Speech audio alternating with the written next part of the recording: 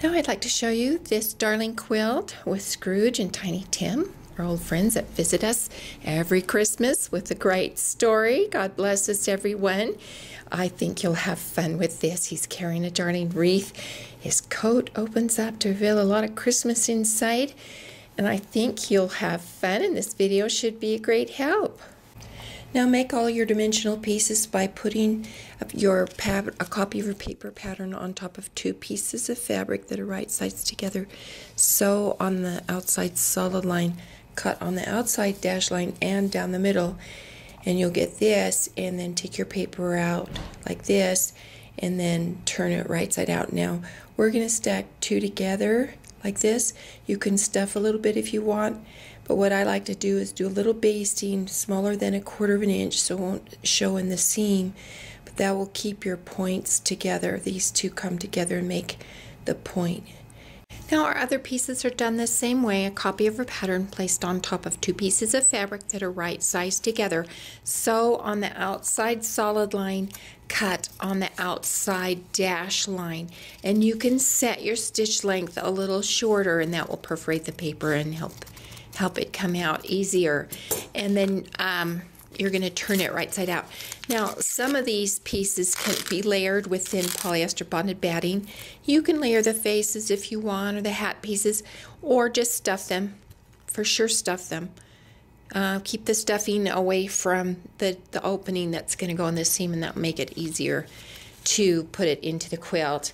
And then when it's once it's turned, you want to press it so it's well defined. This is a little tummy and I'm going to stuff it a little bit more here as well.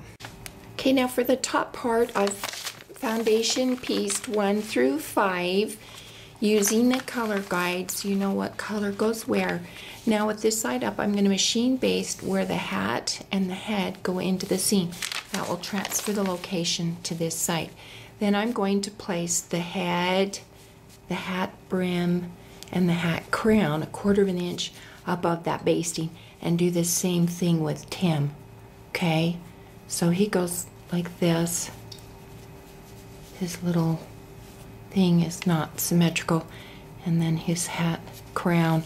Okay, and then I'm going to pin that so it's all a quarter of an inch above that basting and it won't move. And then I'm going to take a piece of fabric uh, for background and place it right side down along that where a quarter of an inch above that basting and so the bulk of the fabric's opposite where I am going to uh, where it needs to be covered. Turn it over and sew that whole seam. Okay see now how the fabric has flipped back? Oh look it has a little bit of the selvage here showing. But I'm not going to mess with it because I do have a quarter of an inch in there and these leaves are going to be placed in the corners. So I'm going to kind of skimp on that and then that's really fun to use this doll hair. You can get it on the internet, you can get it in the craft stores. And I'm going to put his hair like this, and then I come up and down with a needle the same color as the hair and just catch all each of those you know as many of those little curls as needs to be to secure it maybe I'll make Tim a little blonde and do the same thing. Then okay so the nose is just a circle of fabric hand gathered around stuffed with a little bit of batting and then pull it tight. And then I'm going to go back and forth across to kind of close a hole. And then you smash it down hard against the face and that helps kind of some of the wrinkles be hidden. Then as it rolls around I'm going to blind stitch where the nose hits the face and then Tim, his nose is too small, so I just do a little colored pencil for a little circle. Outline the mouth, outline, stitch the mouth. Now, uh, I taken out, after I cut it outside, I took off this top, and of course it's going to be reversed, uh, so I, I put it uh, so it's not reversed, so I can hold it up to the light, and then I'll uh, pencil in uh, God bless us, everyone. And then with three strands of embroidery floss, I'll outline stitch that. So here we've done some details, uh, seed beads for the eyes, outline the mouth. Here's a little lazy daisy stitch with some red beads. And um, to do Tiny Tim's arms, you take a square of fabric like this, dimensions are in your pattern, fold it diagonal and then again like this and like this and do two of them and then I'm going to just with the machine sew here on the open end and then there's a second arm that comes like this kind of behind his head like that. And then Tiny Tim's body is just going to go right into the seam here and that covers up that right then his hand is a piece of felt cut and then I'm going to just blanket stitch his little hand right here. Now Tiny Tim's legs are two strips of fabric that are sewn together like that and press them. And then I'm going to fold it together matching the seams. Okay, so that they're exactly the same. Then I'm going to take the paper pattern and put it on top so that this line is matches the seam. Then I'm going to sew all the way around the outside solid line and take the cut on the outside dash line, take the paper out, slit one layer of fabric, turn it, and then stuff it. Okay, here we've placed his belly and ribbon and then the coat pieces on top. And I've just machine basted smaller than a quarter of an inch so it won't show when I do a quarter of an inch so that those will not move. Okay, now we've got our two sides cut out of background and I've, I've placed the fabric right side away from the printed side since when we do paper piecing it reverses. And so we went ahead and did this like we were going to paper piece so it would be right. And then we just placed the arms just on top as shown. And then I'm going to sew these two to the side here. We've got our jacket inserted and our little feet are on the bottom.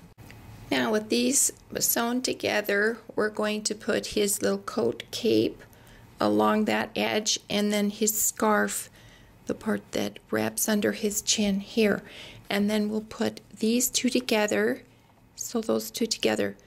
Uh, and then Tim's, here's his little legs. See how I slit right there? Turned them. They're a little tiny, but they work. And then stuff them and then they're going to just be top, you know, just blind stitched or tacked right here. And then to make the wreath, we've, the dimensions are in your pattern, made this tube, and then we're going to, uh, it's also stitched a quarter of an inch from one edge, which makes a ruffle. And then I've got this um, piping, quarter inch piping that I'm just going to feed through and uh, I'll show you that finished. Okay, now I've butted the piping together to make a ring and taped it and then I can scrunch the fabric around until it's really tight there and roll it over a little bit. Equalize all the fabric around this wreath. It just makes a darling wreath. And then I'll put a bow where that is um, seamed or butted together and then that little wreath is going to go here on his arm like he's carrying it. You need to lift his little head when you put these two pieces together and then here I did another ball for the knot on his scarf and it attached his little legs and he turns out so cute. And then here are the two leaves together. I'm going to put those on the corners like that. So when I put the border on, he's going to have cute little corners. Now our quilt is finished. I think you'll really enjoy this design. Scrooge and Tiny Tim, they're so charming. You can open up his cloak to find Christmas inside. Little embellishment here with some lazy daisy stitches and beads. Beautiful wreath. I love the corners with the berries and I just think this quilt turns out darling and I hope this video helps you.